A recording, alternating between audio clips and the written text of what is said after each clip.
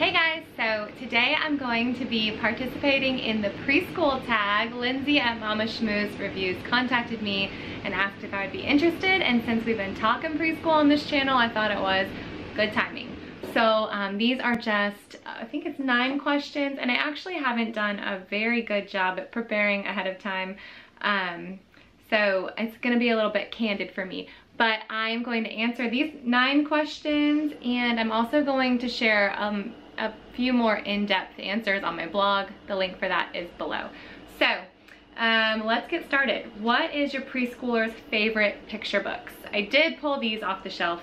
Um, he actually really loves to look at books, which is kind of lucky for me. Um, not all of my kids have loved books, so Right now his absolute favorite is the Count to 100 book. This has been his favorite for a really long time. I think it's probably his favorite because he's most comfortable with numbers, much more comfortable than he is with letters. Um, so he really likes this, but also the illustrations are really bright and engaging. So this is one of his favorites. Similar to this is my first 100 words. So same thing, it's just really engaging, really colorful. It's a big book, full page illustrations, um, which would catch any four-year-old's attention, I think. I will put links to these in the description box below. He also loves the Press Here, Mix It Up, Let's Play books. These are really fun for him, and he basically has these memorized so these are exciting for him. And then he loves the Shine a Light books, but specifically the Shine a Light at the Garage book is the one that he gravitates toward right now. Um, and this is one where you just use a flashlight behind the pages. So he'll go, where's my flashlight? And then he'll bring this into his room. So the day has ended, the garage is closing. Tomorrow will be another busy day. And then you, oh wait, that's not. So um, this one says, this 4x4 vehicle is old and rusty. Can the mechanics fix it up? So this is all they see initially, and then they shine the light back here. I don't know if you can see it, and you see the car back behind there. So um, that's fun for them, for him as well. Number two, how do you teach them ABCs, colors, shapes, and numbers? Do you use shows? Are you hands-on, a tablet, books, etc.? This is actually a funny one. I could kind of go in two different directions here. What I did with my older kids and what I'm doing with my younger kids. With my older kids, I was really intentional. I printed off a bunch of the, um, both the Confessions of a Homeschooler and the One Plus One Plus One blog tot school packs and preschool packs and we worked on those all the time. Um, with my younger ones, Eli was three and a half and I asked him to sing the ABCs one time to the baby and he was like, I don't know that song. And I'm like, yeah, you know, the alphabet. I don't know that song. And I'm like, do you not know that song? But yet he knew all this information about Julius Caesar and he could name countries. It's just kind of just like never really thought to do that with him because he was kind of involved in our other homeschooling curriculum and activities, just sitting in the same room as us. And so I was like, I have got to work on your letters with you. So with him, we did a lot of the build the letters, you know, on Pinterest, you'd find the letter A and then you kind of turn it into an alligator or an apple, things like that. We did a lot of that last school year. This upcoming school year, we're using, if you saw my last review on the reading corner, we're gonna be using the reading corner. So that's how I'm gonna be working through it with him. But then as always, you know, he's in the schoolroom with us, so he's getting a lot more, um, he's getting a lot more education than just his letters, but I also need to really focus on his letters. Um, next oh, color shapes and numbers as well. A lot of that stuff um, I we encountered through his koala crate, which was helpful. Um, and then his older siblings are reading with him and interacting with him all the time as well. So just, that's just, I don't know. That's how it's worked with him. Um, do you use a curriculum for your preschooler? If so, mention the pre-K curriculum choices.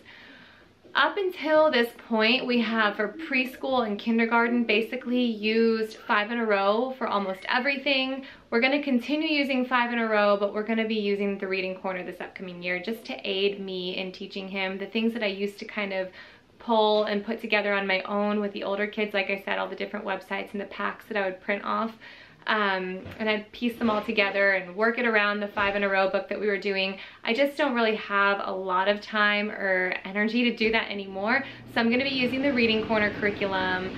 Uh, we're gonna be using some five in a row here and there and actually Let's Play School, she has some great resources. So we're gonna be using a lot of her stuff as well. I will show you um, in my back to school week, which is coming up soon, just so you know, um, where I do a video every day for a week showing you some of my curriculum choices and all of that. I will show you what I plan to use, the system I plan to use to um, integrate all of this together into his preschool next year. It's like the workbox shelves kind of a system, but I'm looking forward to it. What are your favorite websites to use to teach pre-K?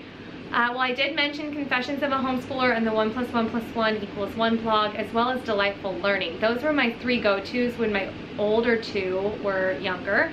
Um, now, I, I love all those still, but I also am pulling in the Reading Corner and Let's Play School. Do you take your preschooler to any community activities on a weekly basis? He's involved in a co-op, kind of co-op thing. It's really just a group of all my girlfriends and I who years ago when our kids were just preschoolers started a little preschool group and we would get together for holidays and we'd go on some field trips. And now those preschoolers are all in fourth, fifth, and sixth grade um, and they all have younger siblings who are in preschool. So we're pretty intentional about having some preschool appropriate activities, having some older kid appropriate activities and field trips, and breaking them apart here and there where we need to. So yes, he has class parties, he has field trips that are geared toward him. Those are like once a month. Other than that, he's a part of everything else that my older kids do. But when my older kids were in preschool, we were super intentional about making that preschool group about learning. Um, how long approximately do you teach your preschooler each day? I mean, one-on-one -on -one intentional education, 15 minutes or so.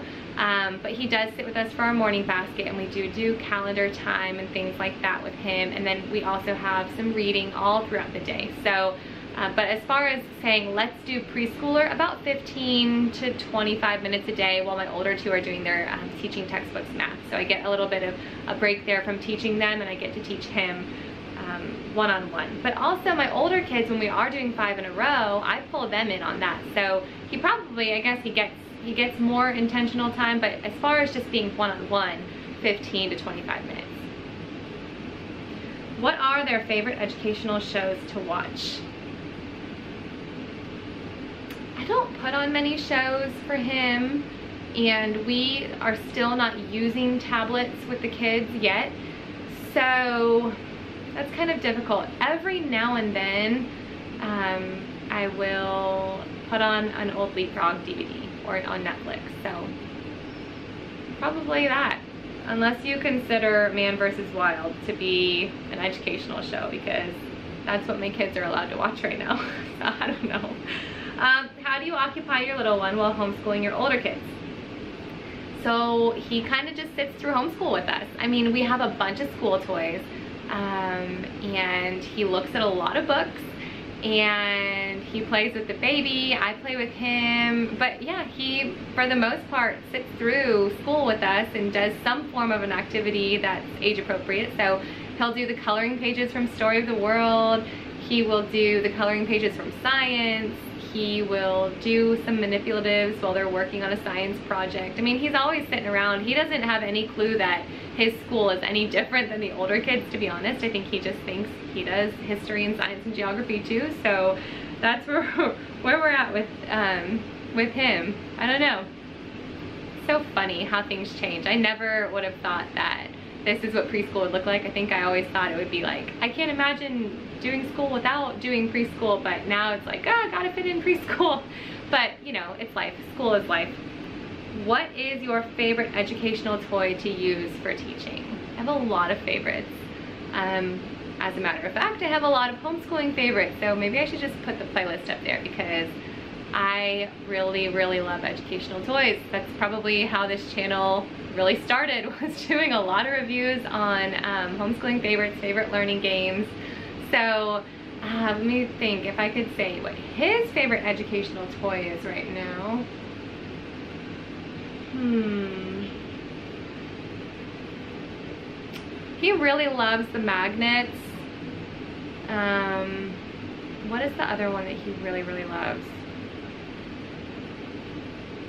I mean, he basically, he goes for those magnets anytime he has the chance still, and he's been using those for years. We've had those around since he was one. Um, so, yeah, those magnets have been really well worth their money.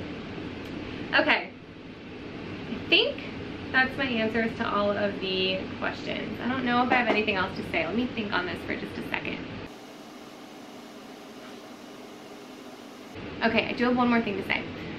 There is a big divide in how I taught my older kids preschool and how I've taught my, well, my, how I plan to teach my younger kids preschool.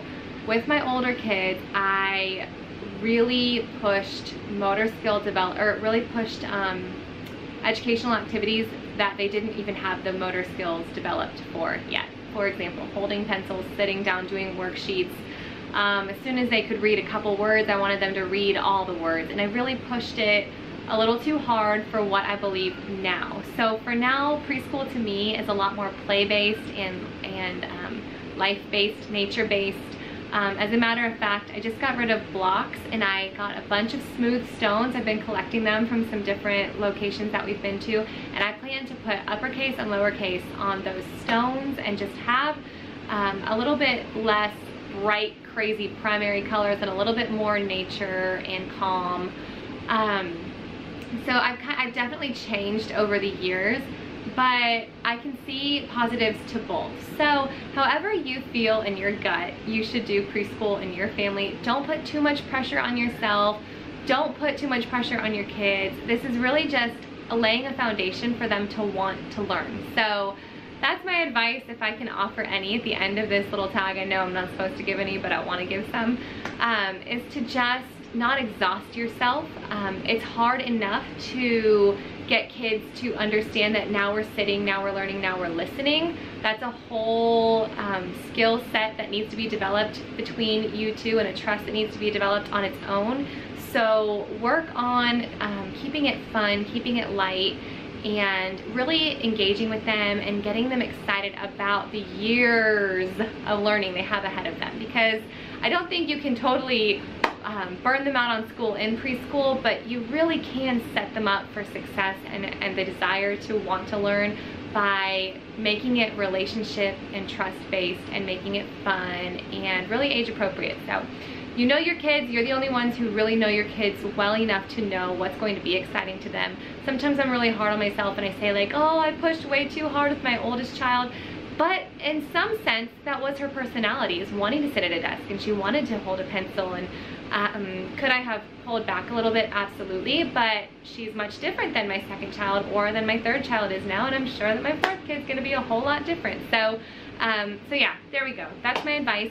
As far as this tag goes, I tag all of you preschool mamas, and if you do this tag, um, leave your video link in the comments so I can check it out. I'll put all of these questions in the description box below, and like I said, I'll write a blog post kind of answering these questions a little less scatterbrained, a little bit more clear and I'll put that in the description box below as well.